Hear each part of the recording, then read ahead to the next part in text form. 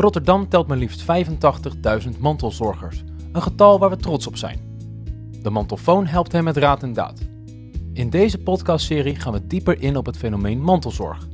Welke uitdagingen kom je tegen en wat zijn zoal de mooie kanten van mantelzorg? Van harte welkom bij weer een nieuwe aflevering van de Mantelfoon podcast. Mijn naam is Peter Robbermond, inmiddels kind aan huis in Huis van de Wijk de Kip aan de Kipstraat in Rotterdam Centrum, hier bij WMO Radar. We gaan het in deze aflevering specifiek hebben over hoe je als mantelzorger mantelzorg combineert met je werk. En vanzelfsprekend zijn er best wel mogelijkheden om daar ondersteuning in te krijgen vanuit WMO Radar, vanuit initiatieven, gemeente, overheid. Maar misschien kan je werkgever daar ook wel een rol in spelen. En, uh, en we gaan een, een, klein beetje een verdiepingsslag maken over wat voor effect mantelzorg nou eventueel heeft uh, op jou en je carrière, bij wijze van spreken. En daarvoor hebben we zoals altijd weer drie bijzondere gasten aan tafel. Allereerst Hennen Mazuzi, zeg ik toch goed? Ja. Zeg goed. Jij bent, goed. het is voor jou een thuiswedstrijd. Jij zit bij WMO Radar. Uh, als, ja, als, uh, als ik ben werkzaam, ja, ik, ik ben werkzaam bij uh, WMO Radar als buurtcoach. En daarnaast ben ik ook mantelzorger. Ja, ja, thuis voor je ouders? Of? Oh ja, voor mijn ouders. Je ouders. Super. Anjo Pluimers aan tafel. Jij bent je eigen initiatief begonnen. Ja. niet, je bent niet met de metro hier naartoe gekomen vanuit Roon. Ja. Ja, een stukje ja. lopen nog. Ik heb een eigen bedrijf, Werkzorgbalans. En ik help uh, medewerkers en organisaties uh, hoe je op een goede manier werk en mantelzorg kan combineren. Ja, hele belangrijke factor. En uh, daar gaan we het vandaag uitgebreid over hebben. En als laatste Saskia Bender aan tafel vanuit het Erasmus MC. En jij bent vanuit, uh, uh, vanuit jouw rol ja, verantwoordelijk voor uh, personeel helpen om om te gaan met dit soort situaties? Of? Ja, ik werk als stafmedewerker HR bij het Erasmus MC. En eigenlijk lijkt mijn rol als, zeg maar, in de combinatie met mantelzorg heel erg op Anjo. Namelijk, ik doe inderdaad ook medewerkers ondersteunen, of ik ondersteun ook medewerkers naar het zoeken van een prettige balans van werk, privé en mantelzorg. En ik geef ook het advies aan leidinggevenden en aan uh, ja, adviseurs, PNO, over hoe ze daar eventueel oplossingen voor kunnen bedenken. Ja, jullie zijn het als Erasmus MC een enorme organisatie, kan ja. ik me voorstellen. En, ja. en, ben je als enige dan met die functie aangesteld? Of? Op dit moment wel. Uh, we zijn wel gestart uh, zeg maar met z'n tweeën. Maar mijn uh, collega die heeft twee jaar geleden heeft, is er met pensioen gegaan. Ja. En op dit moment ben ik zeg maar de, het aanspreekpunt.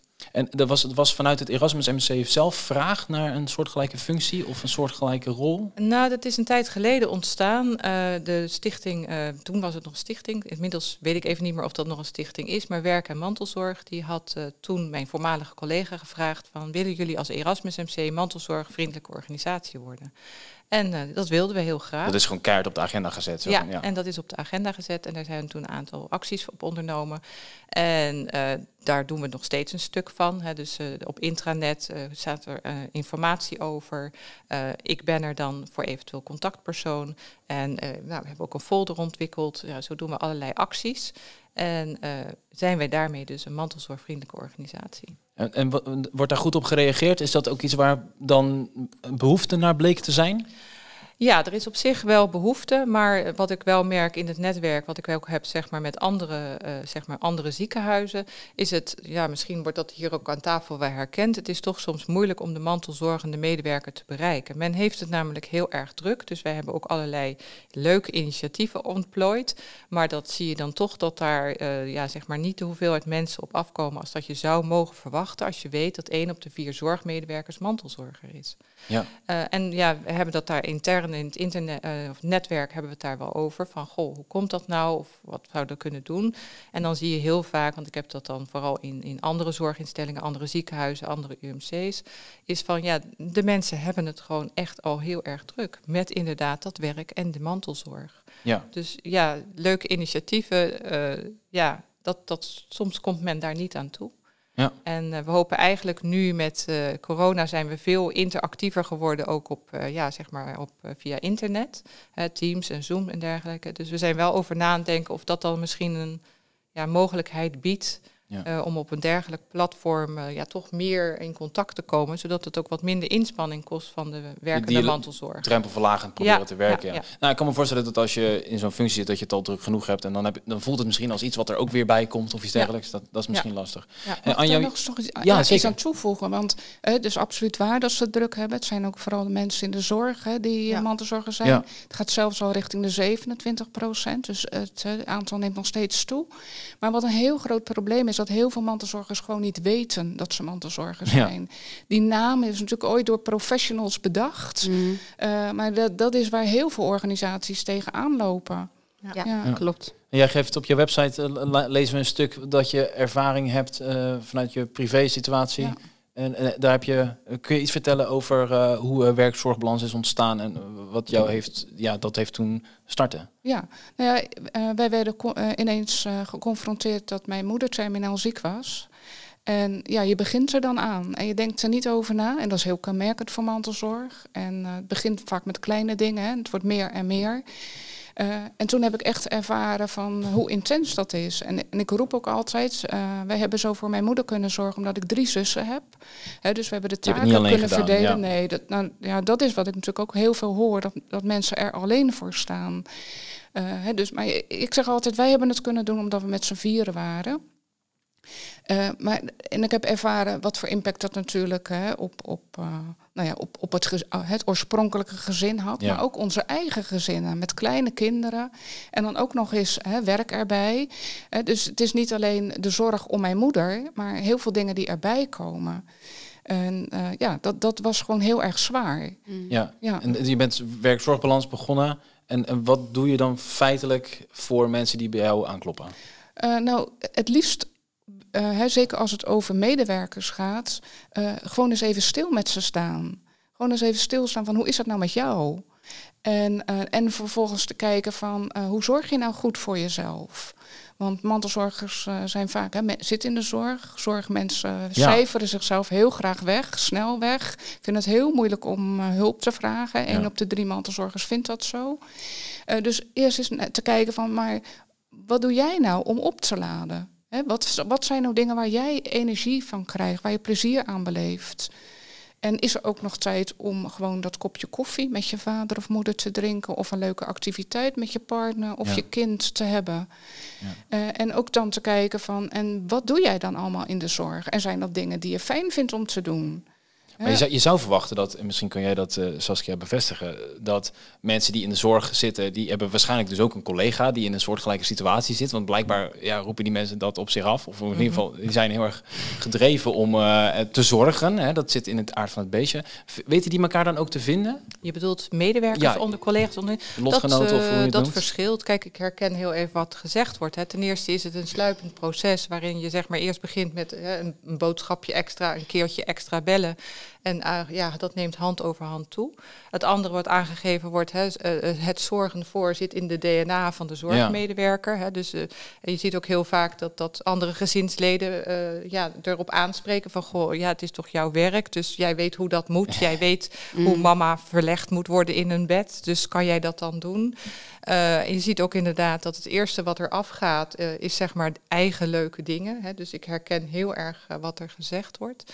Ehm, ja, dan ligt het er een beetje aan hoe open men is zeg maar, over deze situatie met collega's.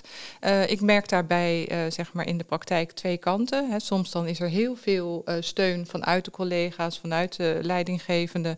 En dan zie je inderdaad dat mensen het ook echt goed lang kunnen volhouden. Ja, soms kiezen mensen ervoor om er niet over te hebben. Houden ze het voor zichzelf. houden ze het voor zichzelf. Mhm. Sommige mensen vinden het privé. Sommige mensen herkennen zich inderdaad niet in de term mantelzorg of mantelzorger. Ja, en dan wordt het op termijn, als het lang duurt, eh, ja, dan kan dat best wel een hele lastige situatie worden. Ja, en heb Ja. jij als, met, als HR het mee te maken, ook wat betreft het belang van de organisatie? Want die mensen die kunnen ook uitvallen, dat moeten we natuurlijk allemaal niet, eh, niet Ja. willen. Nee. Nou ja, het liefste heb je natuurlijk dat mensen op tijd eh, aan de bel trekken. Hè. Dat kan dus zijn of de medewerker zelf, of de leidinggevende, of een, een, een PNO-adviseur. dus dat je nog echt zeg maar, ruim voor eh, die overbelasting zit. Eh, soms is dat zo, eh, en soms niet. En dat verschilt inderdaad per keer Ja. ja. hoe je daarmee mee omgaat, zeg maar vanuit mijn rol. En daarin is zeg maar, ja, alles is maatwerk. Hè. Het is zeg maar, elke Iedereen is situatie is anders, anders, ja. elk mens is anders, elke situatie is anders. En Hennen, jij, jij, jij zorgt voor je ouders. Jij bent mantelzorger naast je functie voor, voor WMO Radar. Hoe ziet jouw situatie eruit wat betreft je ouders? Ehm, ja, mijn ouders wonen op afstand. Ik woon eh, samen met mijn zusje hier in Rotterdam. En mijn ouders eh, woonden eh, inmiddels in Helmond. En eigenlijk is mijn situatie een beetje... ik denk dat ik er voor het eerst echt heb over, over gesproken binnen mijn werk toen eh, corona aanbrak. En vrij ouders, recent. ja, nou ja, eh, mijn ouders eh, zijn op leeftijd en ja, ik werk gewoon. Ik heb de afgelopen tijd gewoon doorgewerkt. En ja, de kans is groot dat ik dan ook misschien ziek kan worden. en dan vond ik het heel moeilijk van, hey, hoe, hoe ga ik dat doen met mijn ouders? Want als ik naar mijn ouders ga, dan blijf ik ook slapen. Eh, eh, want ik ga niet eh, helemaal naar Helmond om even de boodschappen rond te brengen. En dat was, ja, volgens mij was dat het eerste moment dat ik dacht van, ja, weet je, hoe, hoe ga ik dat combineren met mijn werk, met mezelf en uit mijn, met mijn mantelzorgtaken. En ehm, nou, zo heb ik dat, denk ik, in mijn team gebracht. Ehm, nou, wat ik doe is vooral, voornamelijk de, de praktische kant. Ik heb nog een zusje waar, eh, die nog heel veel doet. Dus de fysieke kant doet mijn zusje. mij Meegaan naar de dokter, dat soort zaken Ja. brengen. En ik ben meer eh, administratief bezig. Of eh, eh, ja, crisismanagement in, eh, in het gezin. Ja, als er ergens eh, begrip moet zijn voor de situatie, dan moet het hier zijn bij WMO Radar, toch? Zou je zeggen. Eh, dus eh, je kon het ja. bespreekbaar maken met je collega's, denk ik? Of? Ehm, ja, ik, ik, eh, ik heb het met mijn teamcoach besproken en daar was zeker wel ehm, eh, aandacht voor. Eh, dat vond ik ook eh, prettig. Het, het was niet van mij uit van, hey, ik bespreek dit even, want je moet me helpen, maar meer omdat ik even vastliep. En ehm, hoe ga ik dat doen? Van ja, hoe bescherm, ik mezelf zodat mijn ouders niet in, in gevaar breng? Dat Ja. wa- waren mijn vragen. En dat was meer werkgerelateerd. En toen, ja, toen denk ik dat ze erachter zijn gekomen dat ik eigenlijk mantelzorger ben. Ja. Want ja, we hadden net over van herken je jezelf als mantelzorger? Ook wij professionals herkennen onszelf niet zo snel Nee. in, in die rol. Want je doet het gewoon vanzelfsprekend. En ik doe het al, eh, ja, als kind al. Ja. Eh, dus ik, ik eh, ja, eh, ik weet niet beter. ja, maar ik, ik, ik, heb hier staan dat ze inmiddels in- naar Rotterdam verhuisd zijn. Of? Ja, Ja. inderdaad. Dus mijn ouders wonen nu, denk ik, twee maanden in Rotterdam. Gezellig. Ze zijn Rotterdammers geworden. ja, ja, ja, ja. En Ja. eh, hebben ze het accent al een beetje overgenomen? Nee, want ik heb Oh. het ook nog niet overgenomen. heb ik niet toch? Nee, nog niet helemaal. Nog niet helemaal. Eh, ik hoor wel van de Limburgers, want dat ben ik, eh, Ja. een Limburger, dat ik al anders praat. Maar Mhm. eh, hier vinden ze nog dat ik een Limburger ben. Nee, ze zijn inderdaad twee maanden geleden hier komen wonen. En dat was eigenlijk, ehm, eh, tijdens corona heb ik mijn ouders in huis genomen. Want Ja. dat was gewoon niet te doen. En ehm, eh, dat was gewoon, ze hadden ook eh, zoiets van, ja luister, die afstand, daar gaan we niet aan doen. Wij kiezen voor kwaliteit en niet voor langer te blijven leven of hè, Oh ja. dat we niet in gevaar komen. Wij willen gewoon in contact blijven met onze kinderen en kleinkinderen. Misschien wel op afstand of op andere manier. Maar eh, we, gaan, we gaan dat niet doen. En ik heb ze in huis genomen, omdat dat gewoon ook makkelijker is. Dat is gewoon Eh, praktisch, ja. Het is gewoon praktischer. En dat was gewoon heel prettig. En mijn ouders waren op een gegeven moment, eh, hadden wij met z'n allen... Ja, jullie moeten gewoon hier komen wonen, want dit wordt hem niet. ja. Dus- hoe, hoe vinden ze het hier? Ja, heel leuk. Ja? Ja, verwennen, denk ik. het is wel wennen. Het is anders dan als je op bezoek komt, want je woont nu hier. Nu moet je echt alles regelen ehm, eh, hier in Rotterdam. Dus dat is wel iets Ja. wat erbij kwam. Ja. En, en, en dan ben je ook nog jongerencoach. Dus je zorgt niet alleen voor je ouders, maar ook vanuit je functie dan, denk ik, eh, ben je betrokken met heel veel jongeren. Ja, klopt. wat doe je binnen die functie? Ik ben onder andere trainer bij Joinus. Dat is een, een, een, een groep voor eenzame jongeren. Eh, ik doe dan de 12 plus, 12 Mhm. tot 18 jaar.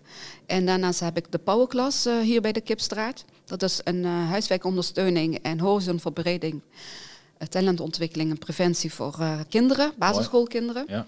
En eh, nog heel veel andere Je hebt het er met druk mee. Ik heb het met druk mee. Ja, ja, ja. Ja. En, en, en, en wa- wat, zie je nu dat er meer eenzaamheid is bij jongeren Ja. sinds het afgelopen anderhalf jaar? Ja, absoluut. Ja, zeker. Dan weten we allemaal waar we het over hebben natuurlijk. Ja. Ja. Ja, het is echt wel, eh, wel Het is wel toegenomen. wat pittig, ja. Ja, het is wel Wat, pittig. wat, wat, wat zie je zo al eh, voorbij, voorbij komen aan situaties? Ehm, eh, ja, verschillende situaties. Eh, eh, wat, ik me- wat we merken is dat de aanmeldingen toegenomen zijn. Ehm, maar tijdens echt de, de, de lockdown zelf, dat er ook echt eh, eh, mensen zeggen van, oh, ik heb nu hulp nodig. Ja. Eh, het, eh, ik loop nu helemaal vast. Het gaat niet goed op school. Dus, eh, ja, de jongeren zien gewoon Het is een stukje van hun ontwikkeling, valt gewoon weg. Ja. Eh, contact met vrienden, met, eh, met, met je school. Eh, veel dingen, dingen, sociale dingen vallen uit. En ehm, ja, weet je, dan, dan raak je wel geïsoleerd. ja. Ik merkte het aan de stagiaires al, dus... Van hier, van Ja, BMO. onze- ja, ja, ja, ja, ja. Wat, wa- waarom is het, het werk en mantelzorg zo belangrijk om die, die combinatie goed te maken, om die balans goed te vinden? Wat zijn de valkuilen of... Nou, waarom het belangrijk is, is dat eh, voor heel veel mantelzorgers het ook eh, het moment is om even uit die zorg te kunnen stappen. En als je het goed op je werk geregeld hebt, dan krijg je energie van je werk. En die energie kan je dus weer meenemen, is een soort buffer die je weer kan gebruiken in de zorgsituatie. Eh, dus eh, daarom is het gewoon wel heel belangrijk. Hè, en ja, val- versterkt elkaar eigenlijk. ja, zeker. ja, ja, ja. zeker. En ook, hè, want eh, eh, mantelzorger zijn geeft ook heel veel voldoening. Ook dat is een soort energie. En die energie kan je ook weer op je werk gebruiken. Op het moment dat bijvoorbeeld op je werk wat eh, drukker is, omdat er Ja. een deadline gehaald moet worden of zo. Dus, eh, Mhm. ja, dus er is er absoluut een wisselwerking tussen. En ja, weet je, heel veel mantelzorgers hebben natuurlijk gewoon ook andere ambities. Hè, willen, Wat als hobby's bedoel je? Of, eh? nee, ook binnen het werk. Oh, zo ja. Hè, dat, eh, hè, dus eh, ja, wil het daarom ook soms niet zeggen. Dat kan dus een valkuil Ja, zijn. Want op het moment dat je het niet Mm. vertelt, kan een ander je ook niet helpen. Eh, maar ja, als, als je net die leuke baan wil of die leuke opdracht en je denkt van ja, Je wil altijd hier je is, beste kant van jezelf laten zien natuurlijk. Of, ja, of heeft het nou, daar niks mee te maken? Meer of er begrip is in de organisatie. En als je het gevoel hebt dat het gewoon niet bespreekbaar is, of dat je er misschien op een of ander moment uh, nou ja, benadeeld wordt, Ja. ja, dan hou je je mond. Ja. Hè, dus dat is een van de redenen om het gewoon niet te vertellen. ja, Ja. of dat, er, eh, dat je gezien wordt als dat je al overbelast bent. Ja, dat zou ook En kunnen. dat wordt ook al snel voor Ja. je ingevuld. Ja. Ja. Ja. Ja. Ja. Ja, ik, ik merkte bij ons, ehm, ehm, onze manager Jolanda, die is zelf ook mantelzorger en die benoemt dat. Toen dacht ik, oh, dat is mooi, weet je. Eh, Ja. Die doet het er ook maar even tussendoor, weet je wel. Ja. Maar ik vond het heel mooi dat ze dat benoemt, dat ze dat ook doet en dat ze het belangrijk vindt. Kijk, eh, en toen dacht ik van, ja, weet je, dat is wel fijn als, de, als je zo'n voorbeeld hebt dan. En de voorbeeldfunctie ook serieus nemen. Ja. Dan voel je jezelf ook eerder geroepen om, eh, daarmee naar buiten te komen. Juist. Maar dat hoor je ook veel, hè? Dat eh, juist de leidinggevenden die zelf met zo'n mantelzorgsituatie te maken hebben gehad of te maken hebben, dat die het veel makkelijker vinden om dat gesprek aan te gaan. Ja, En want, is heel herkenbaar. Ja, en want Ja. in een organisatie, een organisatie kan absoluut mantelzorgvriendelijk zijn, maar hoe het zich vertaalt eh, naar iedere leidinggevende toe is soms echt wel een enorme uitdaging. Ja, maar jij hebt hier een, een kwalitatief onderzoek nog in gedaan, geloof ik. Voor, ja. ja. Wat kwam daaruit? Ehm, nou, ik heb eh, kwalitatief onderzoek gedaan naar wat de invloed is van sociale steun op het werk. En sociale steun, ja, dat kan zijn het luisterende oor, aandacht, begrip. Eh, maar kan ook hè, een taak overnemen zijn van een collega. Dan wel structurele veranderingen, als bijvoorbeeld wijzigingen van je werkuren, het aantal uur of, eh, of je thuis mag werken. Ehm, en je ziet gewoon, en dat is niet alleen in dit onderzoek wat ik zelf gedaan heb. Ik heb 17 eh, mantelzorgers eh, geïnterviewd. Uh, maar elke keer komt dat weer terug dat sociale steun zo ontzettend belangrijk is om het vol te kunnen houden. Hè, dus dat, ja, dat dat eigenlijk echt de sleutel is. Hè, als je kijkt naar welke behoeften mantelzorgers. En dat, dat is een sociale steun vanuit de werkvloer, vanuit ja. je collega's? Of, ja? Nou, natuurlijk ook uit je eigen omgeving. Ja, ja, maar in dit geval heb ik hem natuurlijk op de werkvloer uh, uh, onderzocht. Maar wat mij vooral opviel, was uh, dat al die mantelzorgers het zo fijn vonden om gewoon een keer hun verhaal te Mm. doen. Ja, dat is heel herkenbaar. Ja, Ja. hè, zich gehoord voelen en gezien voelen. Ja. Ja. Nou ja, dat is heel herkenbaar. En Ja. inderdaad ook zeg maar, het verschil zeg maar, in leidinggevende. Hè, heeft, heeft de leidinggevende zelf al ervaring zeg maar, in mantelzorg, dan wordt er toch anders naar tegen aangekeken dan Ja. niet. Ja. Eh, ja, er zijn heel veel factoren die daarin in meespelen. Maar het luisterend oor, hè, dat blijkt inderdaad uit veel onderzoeken.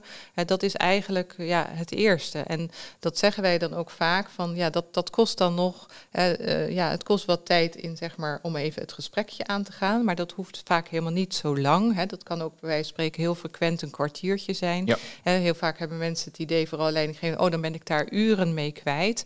Uh, ja, dat is helemaal vaak niet het issue. Hè, het is vaak gewoon dat, dat je even de aandacht hebt om even stil te staan bij die situatie. En dat je dan even zegt, oh, hoe, hoe is het? Je had het vorige week hier en hier over. Hoe is dat nu? Uh, gaat Ja. dat? Gaat dat niet?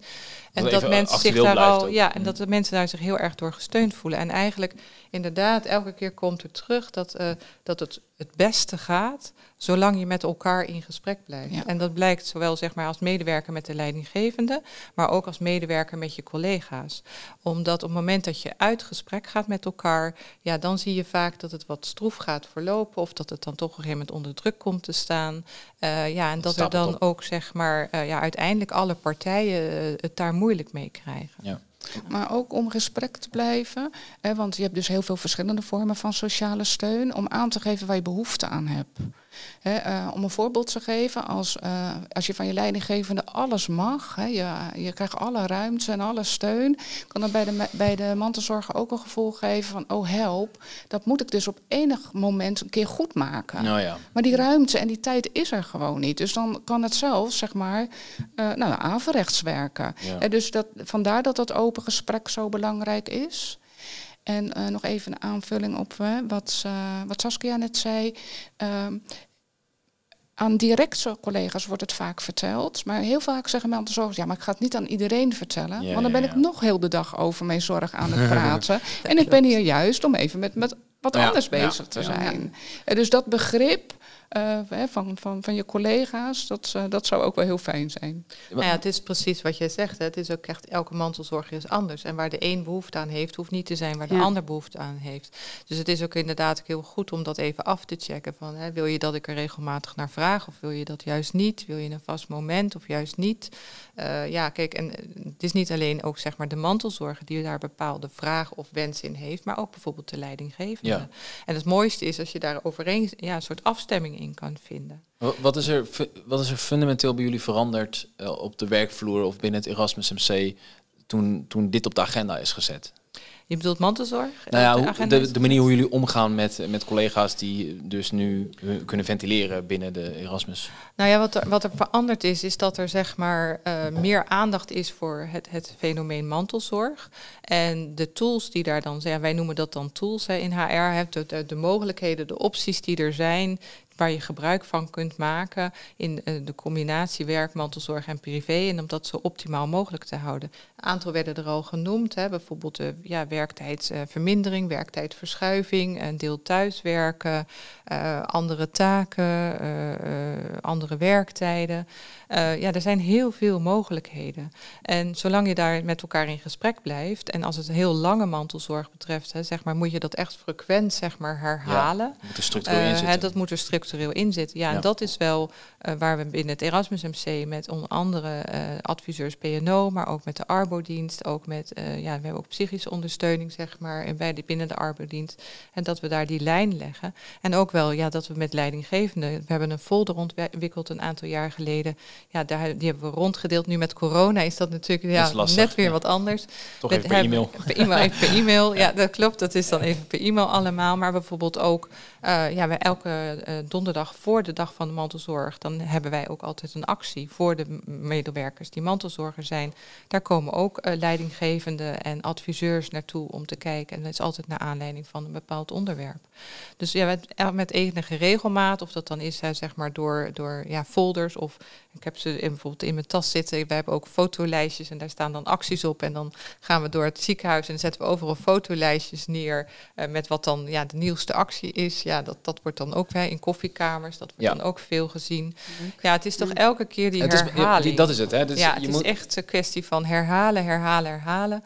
Ja, en dan is het ook maar net van, ja, tref je een leidinggevende of tref je een medewerker die inderdaad denkt, oh, dat is waar, ik ben mantelzorger. Of, oh ja, dat is waar, deze medewerker van mij is mantelzorger. En soms is het dat, maar het kan ook best zijn dat ik, ik loop al vier, vijf jaar rond eh, met die fotolijstjes en die foldertjes.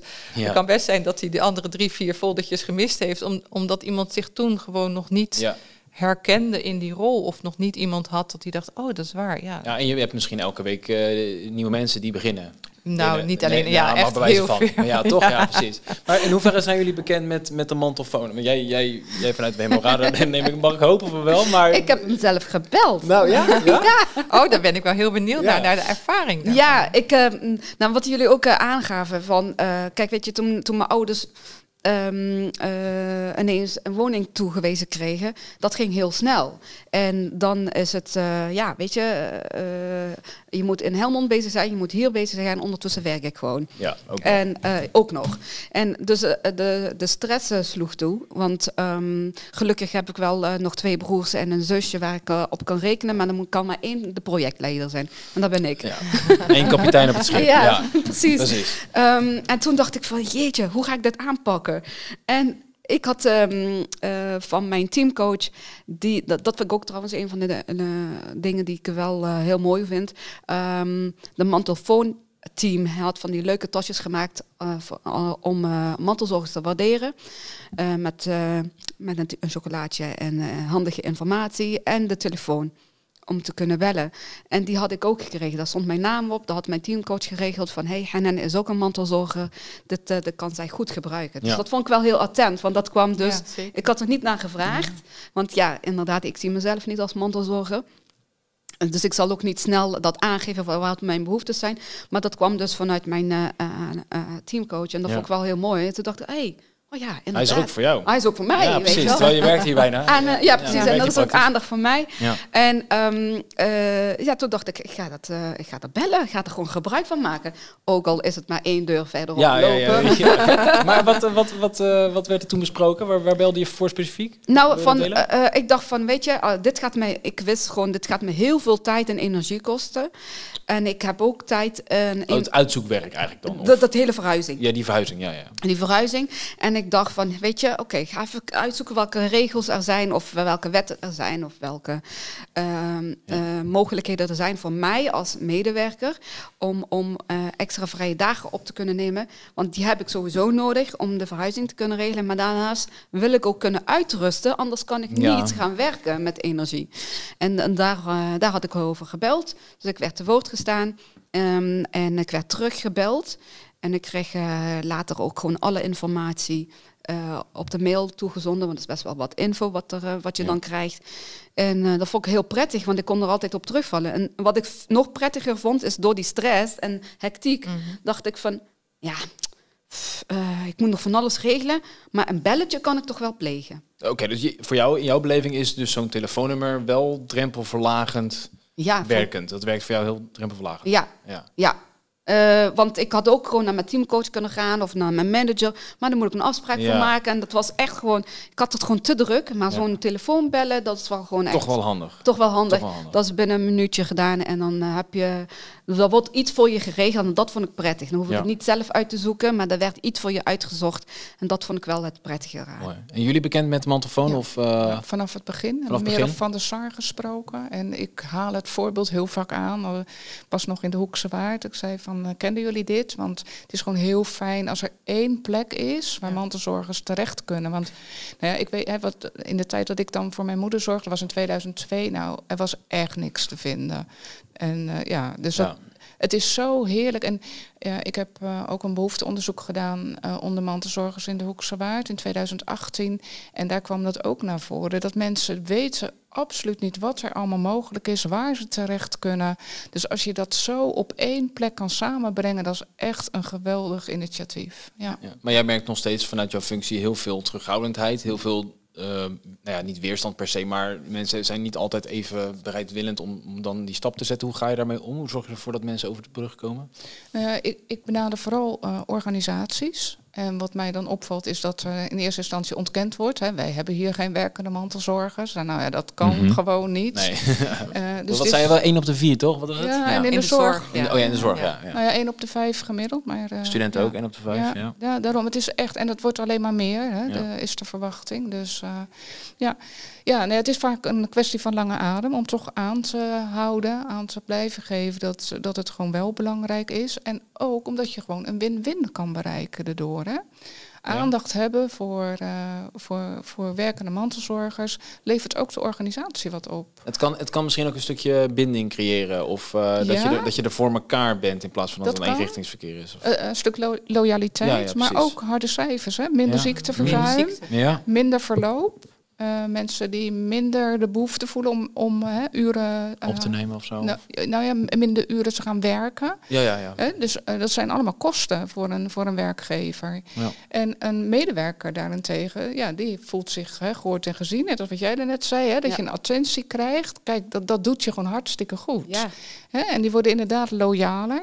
Het, het heeft echt ook een directe link met vitaliteit en duurzame inzetbaarheid. Zie Saskia Ja. knikken. Nee, dat klopt. Dat is Ja. inderdaad. eh, merken uit, uit onderzoek is dat ook. Ja. En soms dan eh, geef ik ook wel eens leidinggevende de overdenking weer van oké, jij bent een medewerker en jij hebt mantelzorg. hè, dat doe je voor je moeder of voor je vader. Hè, dat is heel veel voorkomend, zeker in de Ja. groep eh, die wij eh, eh, als medewerker hebben. Wel er ook he- zeker jonge mantelzorgers zijn. En dat, dat Ja. ja. wil ik hier toch wel genoemd hebben, Ja. omdat dat toch wel Zeker. een- Nou, we hebben afleveringen is, van de Mantelfoon podcast over jonge GGZ-mantelzorgers, jonge mantelzorgers. Ja, Ja, dat is zeker een belangrijk item. Maar laten we het even nu hè, op vader-moeder houden. En dat ik dan die leidinggevende ook wel voorhoud. Zeg maar van oké, dan ga jij heel strak erin zitten. Jij moet dat rooster vullen en, en hè, je gaat er heel strak in zitten. Ik zeg, en die medewerker van jou, die wordt 's ochtends gebeld. Je moeder is gevallen. En die ligt hier en die moet naar de eerste hulp. Paniek.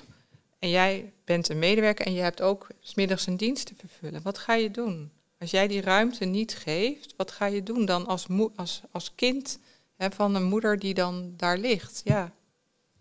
En dat is, zijn dilemma's waar mensen soms voor komen te staan. En dan, ja, dan zal toch een, een, een dochter of een, een zoon, ja, je, je kiest dan toch misschien wel, of misschien zeker, voor die moeder. Nou, dat lijkt me wel, toch? Ja. Ja. ja. mag het hopen. en dat, Ja, ja, het ja, is dus- precies. het is, maar dat is dan Sorry, soms, mam, ik moet werken. Dat, dat, dat zit er niet in. Nee. Ja, en dat, dat, dat, dus dat is het dilemma waar iemand dan voor staat. En dan her- wordt er inderdaad wel herkend dat mensen dan soms eh, zeg maar kiezen voor om zich ziek te melden. Ja, En ja. het gesprek wat ik dan vervolgens aanga met die medewerker, want dat komt ook voor, hè, die zich dan ziek gemeld heeft omdat hij er niet uitkomt, is dat ik tegen die medewerker zeg, ja, ik snap hè, dat je dit als, als nood, omdat je het niet anders wist op te lossen eh, in gesprek, hè, dat gekozen hebt. Maar weet dan wel dat jouw leidinggevende met jou constant in gesprek gaat over jouw ziek zijn. Ja. Maar je bent niet ziek. Mm. En dat worden dan ook hele ingewikkelde gesprekken. Dus waar het om gaat, is dat ja, als het, een, eh, het optimale is dat je in openheid en eerlijkheid dat gesprek met elkaar aangaat. Zowel als medewerker hè, en als mantelzorgende medewerker, maar ook als leidinggevende, die natuurlijk toch ook ja, bepaalde roosters of bepaalde productie eh, ja, Ja. moet vervullen. Ja. En En- dan zijn jullie notabene het Erasmus MC. Ja. Jullie zijn een welzijnsinstantie. Ehm, maar Anjo, heb jij, eh, zie je, kom jij ook in aanraking met commerciële organisaties? En zie je verschil tussen hoe eh, welzijnsorganisaties of stichtingen anders omgaan dan commerciële organisaties met dit soort situaties? Ja, Of zit er meer angstcultuur? Want dit klinkt een beetje als een angstcultuur. Als je, als je niet durft... Nou, het is denk ik geen angst. Nee, het het is, is geen letterlijk met je angst. rug tegen de muur staan. Nee, het is geen angst. Het is gewoon, ja, dat, dat je ziet bij mantelzorgers, zie je vaak, hè, dat werd in het begin benoemd, eh, van, van hè, het begint heel klein, het wordt heel groot. Mensen herkennen zich dan uiteindelijk niet, zeg maar, dat ze dan mantelzorger zijn. Dus ze, ze trekken ook eigenlijk niet aan de bel bij de organisatie om de hulpbronnen, zeg maar, eh, te benutten. Ja, en dan zie je op een gegeven moment dat er toch een soort verkokering in, eh, plaatsvindt, hè, een soort tunnelvisie ontstaat, waarin ze dan soms dan onder bepaalde omstandigheden niet meer weten hoe Ja. los ik dit op. ja. En dat is niet, hè, dat is ja, meer door de situatie zo.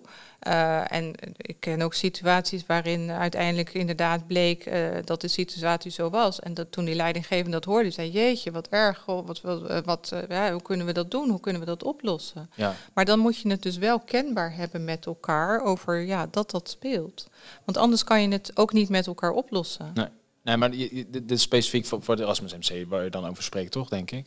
Hoe bedoel je? Oh, de voorbeelden die je nu noemt. Nou ja, het, het zijn voorbeelden die gewoon eh, ja, die voorkomen. Ja. En er zijn ook heel veel andere hele, hele, hele positieve voorbeelden. Ja. eh, zeg maar, ja, waarin eh, zeg maar, al heel, heel snel zeg maar, teams en leidinggevenden zeg maar, weten van de situatie. En daarin de medewerker of de collega zeg maar, ja, allerlei zaken uit handen neemt. Of or, zegt van, goh, zullen we het zus of zullen we het zo?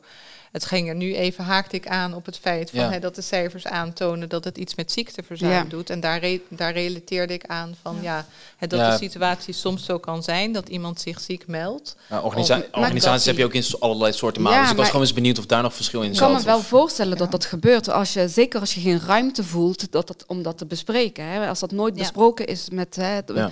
dat er aandacht is voor mantelzorgers ehm, eh, die werkend zijn. Dat, dat je dan eh, in die stress wat je al hebt, Ja. dat je denkt van ja, dan moet ik me maar ziek melden. Ja, hoe, hoe, hoe, hoe vaak hoor je niet dat mensen prestatiedrang hebben en eh, Ja. onder targets werken en Ja. zo. Ja, of als ze willen doorgroeien, ja, weet je precies, wel. dan, carrière. eh, Er staat een vergrootglas op je prestaties. Ja, en dan wil je Nou niet ja, en als je een leidinggevende hebt die daar ook vol op zit, is Ja. dat een hele lastige. Dat bedoel ik, ja. Ja. Kijk, over het geheel genomen, want je vraag was, maakt het uit waar iemand werkt? Je ziet wel in zorg en welzijn dat er wat makkelijker begrip is. Hè, vaak zeggen de mensen die daar werken zelf al van, ja, hè, we- ik werk nou eenmaal in zo'n organisatie, dus dat is er gewoon. Ja. Eh, ja, in, eh, zeker in een. eh, ja, ik heb een aantal mensen uit de grootmetaal geïnterviewd. Dat ligt echt heel anders. Mm. Daar zie je ook conflicten ontstaan. Eh, ja, omdat mensen dan gewoon geen eh, verlof bijvoorbeeld krijgen waar Ja. ze wel recht op hebben. Eh, ja, en op het moment dat dan een vakbond zich daar ook mee gaat bemoeien, dan kun je wel voorstellen wat dat gewoon met de onderlinge verhoudingen Mm. doet. Ja. Ja, dat soort Nee, Daar ben Ja. ik wel echt eh, dankbaar voor dat ik in, eh, binnen een welzijnsorganisatie werk waar ruimte is om je eigen tijden eh, te bepalen voor, eh, voor de grote gedeelte. En dat je ook gewoon makkelijk afspraken kan verzetten als er, als er eh, situaties Ja. zich voordoen waardoor je gewoon niet meer naar, naar, je, naar je afspraak kan gaan. Ja. Dus dat vind ik wel echt voor mij is dat een, een pre om dan binnen zo'n organisatie te werken. Want ja, wat jij zegt, ehm, mantelzorg, dat, is, dat, dat wordt alleen maar meer en meer. Gelukkig zijn mijn ouders beide nog vitaal en hoeven nog niet heel veel te doen. Maar dat, ja, het, het houdt nog niet op. Nee, en En het dan- wordt, ja, maar dan zou wel ik- fijn dat ze dicht bij huis zitten nu dan, Ja. toch? Ja. Precies, ja. En dan zou ik jou graag mee willen geven. Denk ook met elkaar eens na van wat je dan wel zou willen doen aan zaken en wat niet. Bespreek ook met je ouders wat zij zouden willen daarin. Hè, Mantelzorg NL, dat is de landelijke belangenorganisatie, die eh, eh, is er groot voorstander van. Hè, om op vroegtijdig het gesprek ook aan te gaan. En want eh, ja, weet je, wil je het volhouden, is het ook belangrijk dat je, dat je die taken doet waarvan je denkt van ja, die kan ik. Die wil ik en die kan ik. Ja. Ja. En heeft dat ook te Ja. maken met misschien zo, zo lang mogelijk ook mensen in hun eigen kracht laten? Of eh, dat, dat een, een ouder misschien zoveel mogelijk nog wel zelf wil proberen te doen? Of? Nou, dat, dat- staat in welzijn en in zorg denk ik voorop. Centraal, Eh, eigen ja. regie, hè? Ja. Dat ze zo lang mogelijk bij de Nou ja, ik, eh, eh, persoon in kwestie houden. Ik ben zelf Marokkaanse, dus eh, eh, daar ligt dat toch ook weer net iets anders, die zorg. En dan merk ik gewoon dat ik met mijn ouders ehm, vaak dat gesprek aanga van, ja, weet je, eh, luister, dit kan je nog zelf doen, weet je wel. dus mijn, mijn eh, Nederlandse kant, zeg maar, die dan zegt van, nee, dat... En ik vind dat ook belangrijk, dat mijn Ja. ouders nog heel lang nog heel veel dingen zelf kunnen doen en blijven doen. En, Ja. en alle, al is het om hun eigen ontwikkeling of gezondheid. En ik merk dat wat wij, eh, eh, hoe wij opgevoed zijn, is dat je eigenlijk heel erg je ouders iets terug wil geven wat Ja. zij jou altijd hebben gegeven. En hun, Ja. alles, eh, je wilt ze ontlasten, maar ook alles geven wat ze zouden willen eh, hebben. Ja. En soms is denk ik van nee, dit is niet goed. Ga jij maar gewoon lekker lopen, weet je. Ik ga je niet brengen. Toch dat Nederlandse toch nog Ja. ja. beetje Ja, precies dat. Hollandse Ja. nuchterheid. Ja. Ja. Ja, Ja. maar precies. dat is wel heel belangrijk. Hè? Daarmee houden je, hè, blijven ze eh, geestelijk, maar ook lichamelijk veel fitter. Fit. Maar dan, ja, Ja. maar weet je, dat, Mhm. je moet ook dat begrip kunnen krijgen. Gelukkig Ja. heb ik wel een goede verstandhouding met mijn ouders. Maar ik kan me in heel veel gezinnen eh, voorstellen dat dat niet zo is. Want mijn moeder zegt bijvoorbeeld... Ik zeg, eh, mam, je kan best wel een brief lezen. Doe maar je best. Ik kan ook, weet je, ik heb mijn moeder geleerd met een smartphone om te gaan. En ze heeft ook een, eh, een Google Translate, weet je wel. Ik zeg, weet je, ga maar oefenen. En dan zegt ze... Ja, ik heb het vroeger allemaal zelf gedaan. En wat denk je wel? En eh, weet je, gaat ze me emotioneel chanteren. Ja, ja, ja, ja, ja. Omdat ik een keer nee zeg. Ja. En dat ga ik niet voor je doen. En dan denk ik ze, nou, ga maar. Weet je wel, Ja. maakt niet uit. ba- Wees maar boos op Beetje mij. ja, zijn, ik herken wel wat je Ja. zegt. Ik zie dat inderdaad ook wel met uh, ja, mantelzorgers die ik ondersteun met een gemengde cultuur. Van, uh, ja, het is dan inderdaad soms wel uh, zoeken naar uh, de juiste mix, zeg maar, Juist, tot, ja. tussen de Hollandse en de andere cultuur. En Ja. ja. ja, ik ben het wel eens van als je zeg maar zo lang mogelijk ook degene voor wie je mantel zorgt, ja, zeg maar toch ja, prikkelt om het zelf te doen, ja, dan, dan blijft het ook het, ja, blijven mensen ook het langste fit. Maar ik zie inderdaad wel mensen met een gemengde cultuurachtergrond, ja, dat dat dan soms best lastig is. Omdat er ook wel aanspraak wordt gedaan op iets van ja, uh, ja, ik heb het voor jou gedaan. In een van de eerdere afleveringen die we gemaakt hebben, was ook zo'n soortgelijk verhaal. Daar kwam naar voren dat iemand echt veel te lang gewacht had met uh, aan de bel trekken. Omdat die dus zich vanuit zijn cultuur heel erg uh, verantwoordelijk voelde, voelde voor om het zo lang mogelijk te zorgen voor die ouders. Terwijl, nou, het was al lang de uh, revue gepasseerd, het moment waarop je eigenlijk aan de bel had moeten trekken. Ja. Veel te laat, dus dat moeten we zien te voorkomen. Nou ja, ik denk wel dat het belangrijk is om dat een achterhoofd te houden, ook als organisatie. Omdat uh, ja, er wordt dus verschillend omgegaan met zeg maar zorg en uh, ook zorg voor ouders. En waar bijvoorbeeld, hè, ik ben zeg maar van, van Hollandse achtergrond, hè, ik zal misschien veel eerder nee zeggen of zeggen van nou nee, weet je, dan, dan jij. Ja. En jij hebt je ouders in huis genomen. Ja, ik denk niet dat ik dat heel snel zou doen. maar het is wel iets wat ik veel terughoor van inderdaad mensen met een gemengde achtergrond die zeggen, ja, nou, ik ga ze in huis nemen. En ja, dat als leidinggevende hè, of als werkgever of als, uh, ja, in alle rollen hè, als collega, ja, dan, dan moet je dat inderdaad wel ja, ook kunnen begrijpen van dat dat iemand anders andere keuzes maakt dan dat wij uh, zeg maar vanuit zeg maar uh, onze eigen gedachten keuze ja. maken. Nou ja, dus met andere woorden, daar moet dus ook draagvlak voor zijn binnen uh, je werk. wat zouden we met z'n met z'n vieren de werkgevers van Nederland mee mogen geven om um, beter met dit soort situaties om, om te gaan in de toekomst? Nou ja, ik denk gewoon toch wat we hier steeds met elkaar zeggen. Van, ja, dat het toch steeds gaat om in openheid het gesprek aan te gaan. Dus zeg maar de diversiteit in allerlei, hè, dus zeg maar types werk, uh, man, vrouw, uh, cultuurachtergrond, wat jij aangaf, hè, zorg, metaal. En dus zeg maar dat, dat, je, dat je bewust bent van uh, dat, je, dat jij misschien anders zou doen dan de ander. Maar dat je daar wel in, op, in gesprek gaat met elkaar om daar dan het optimale in te bereiken voor ieders situatie. Dus zowel als medewerker, want dat werk is heel belangrijk voor die mantelzorger, als mantelzorger en ook he, zeg maar naar het werk toe als werkgever. Maar ik denk wel en dat wordt nu niet zo belicht in dit gesprek, omdat het, zeg maar, het onderwerp is werk en mantelzorg. Maar ook wat jij aanhaalde, hè, van ongelooflijk belangrijk blijkt, zeker als je heel lang mantelzorg verleent, intensief mantelzorg verleent, en dat je als mens, als privé, dat je ook echt tijd en aandacht vraagt voor jezelf. Hè, dus dat je inderdaad misschien op een gegeven moment tegen je ouders zegt, nou oké, vanmiddag ben ik er niet, want vanmiddag ga ik een eindje lopen met mijn vriendin. Of ga ik uh, iets anders doen waar ik heel veel energie van krijg. Ja. En het is inderdaad zo. Hè? Mensen krijgen ook energie van het werk, maar mensen krijgen ook energie van ja, eventjes niet even. Ja, ik kan me voorstellen dat je ook als werkgever daar een, een, actieve rol in kan spelen. Om te zeggen van nou ja we, we, we, plannen jou zo in dat er ruimte is voor jou. Dat misschien, hè, misschien kan je werk ook wel, als dat goed geregeld is, krijg je er energie van. En uh, misschien moet je dan in overleg, overleg, met je werkgever van hoe kunnen we het zo inrichten dat ik er morgen ook weer fris ben. Ja. Nou, nou ja, dat ik, ehm, gebeurt ook wel. Kijk, wat, ik weet bijvoorbeeld van een collega die mantelzorg verleent en die heeft dan zeg maar werk. En ja, zij is heel uh, ja, dedicated uh, op haar werk.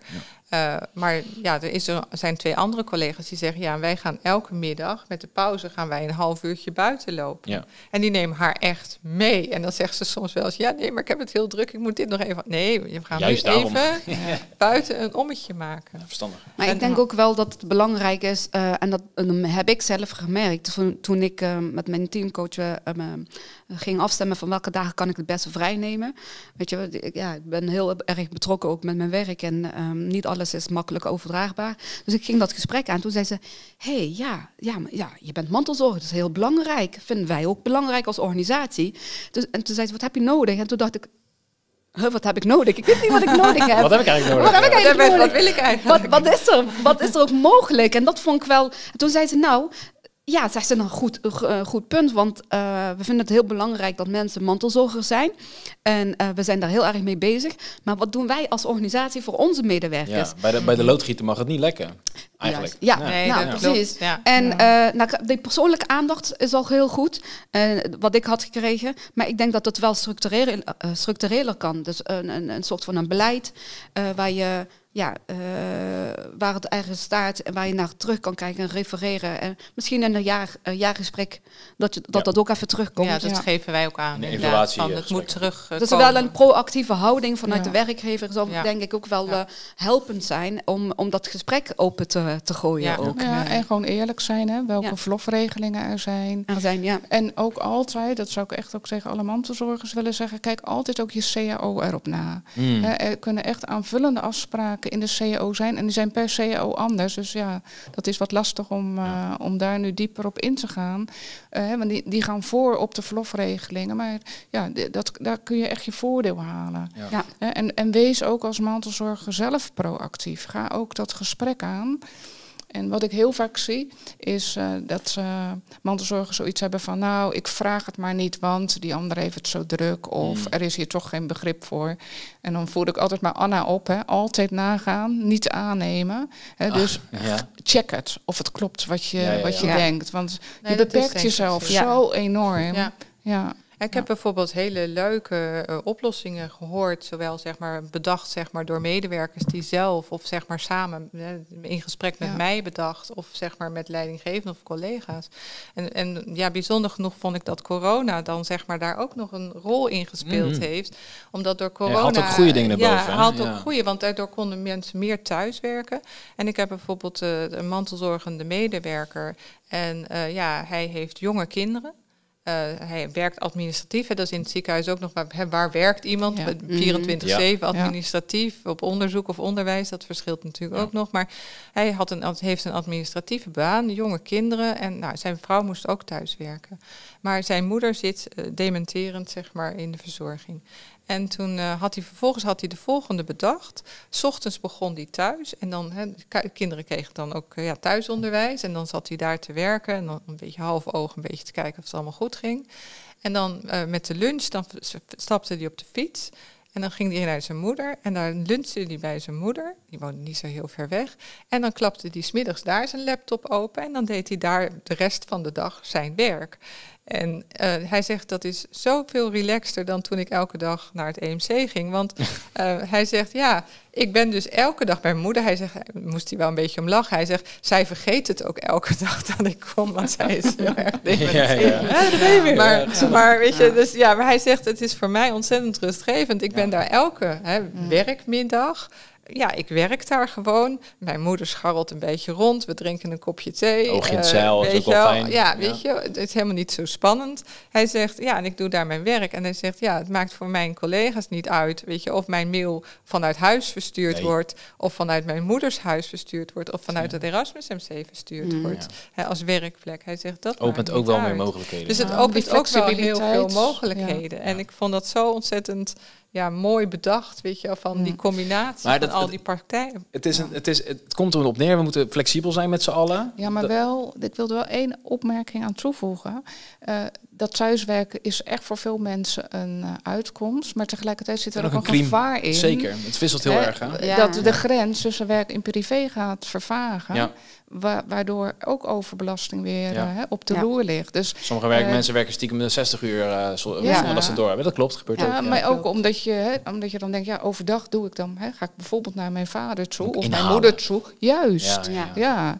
Hè, dus mm -hmm. een stukje begrenzing daarin of, of ook daar het gesprek over aan blijven. Ja, nou dat, dat was vaak natuurlijk een probleem, hè, dat werkgevers geen vertrouwen hadden, waardoor thuiswerken niet mocht. Dus dat is inderdaad de grote winst van corona. Ja, dat is wel opengebroken, die, die clichés. Alhoewel, toen ik mijn, mijn uh, onderzoek deed in 2016, 2017, toen kwam dat ook al in de literatuur naar voren. Hoor, dat die vervaging van die grens privé-werk, dat dat wel iets is om aandacht voor te blijven. blijven. Ja, absoluut. Maar ik denk dat het ook een heel individueel iets is. Ik hoor echt mensen die zeggen, nou, ik vind het echt een zegen. En er zijn ook mensen die zeggen, ik vind het heel lastig. Ja. En ik denk dat het eigenlijk hetzelfde is als van combinatie werken, mantelzorg en privé als zeg maar inderdaad thuiswerken of niet thuiswerken, ja, dat het heel goed is om te kijken van oké, wat werkt voor mij of wat werkt voor de organisatie, waar, waar haal je het optimum zeg maar in ja, het creëren van die balans. En dat is gewoon voor elke persoon op elke plek uh, toch anders. Ja. En zolang je maar zeg maar ja, waardering en erkenning hebt voor al die rollen en taken, ook als, hè, ook als werkgever, uh, ja, dan denk ik dat je er heel creatief kan zijn in hoe je daar uitkomt. Nee, ja, ik wat denk dat echt eerder- verschilt per persoon. Ja. Maar ook regelmatig evalueren. Evalueren, omdat de, je werksituatie kan veranderen. Jij kan Mm. er anders in zitten. Hè. Ik bedoel, eh, ja, ben je een, een tijdje niet lekker, ja, dan kun je ook minder aan. Nee, en de dat klopt. zorgsituatie kan veranderen. Dus, eh, en op het moment dat je de afspraken gewoon vastlegt en evalueert met je leidinggevende, dan is het voor iedereen ook heel erg helder. En ik denk dat dat ook heel veel rust en ruimte kan geven. En onderaan de streep wordt iedereen daar dan weer beter van. Zeker weten Ja. ze. Ik kan nog uren met jullie kletsen volgens mij, maar we moeten hem maar gaan afronden. Ik denk dat dit een hele mooie laatste samenvatting was. Ehm Dank je wel voor jullie aanwezigheid allemaal. Ehm, heel veel succes in werk en zorg. Dank dat eh, gaat volgens mij wel goed komen. En bedankt iedereen voor de aandacht. Abonneer je op eh, Apple Podcasts, Spotify en eh, eh, anders op YouTube. Daar kan het natuurlijk ook. En dan zie ik jullie graag de volgende keer. Dankjewel.